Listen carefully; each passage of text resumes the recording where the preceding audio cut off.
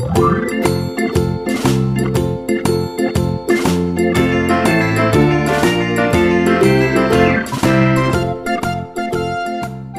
langsung pada kesempatan kali ini kita akan membahas sebuah soal di sini jarak kursi dan kolam ikan di taman adalah 3 meter. Sedangkan lampu taman ke kolam ikan adalah 700 cm.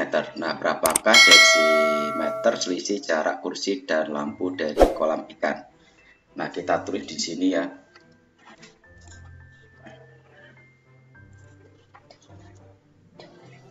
Eh, yang pertama adalah jarak kursi dengan kolam ikan.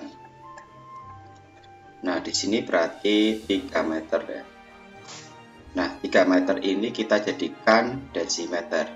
Nah, biar kita mudah, kita buat tangga terlebih dahulu ya di sini.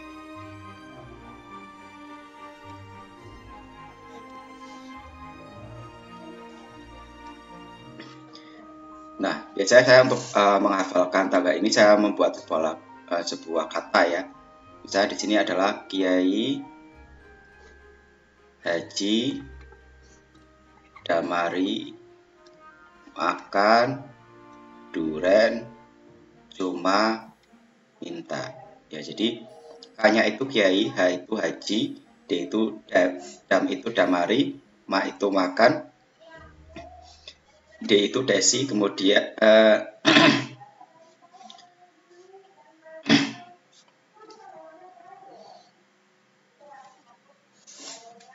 jadi di sini uh, saya biasanya buat uh, sebuah kata ya kiai itu k haji itu hm damar itu dam m itu makan d itu duren c itu cuma m itu minta seperti di sini kalau kita sudah bikin tangga, kita akan mudah mengubah atau mengkonversikan dari meter ke desimeter.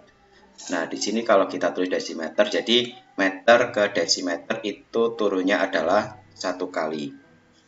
Nah, kalau turunnya satu kali berarti dikalikan 10. Jadi 30. 3 ini dikalikan 10 jadi 30 desimeter. Kemudian jarak lampu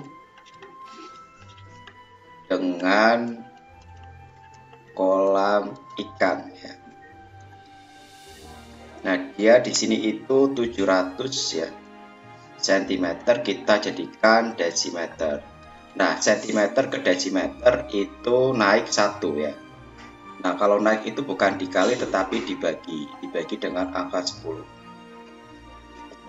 Sehingga kalau kita bagi 700 dibagi 10 itu kita 10 itu kan nolnya 1, jadi kita tinggal menghilangkan nolnya 1 saja.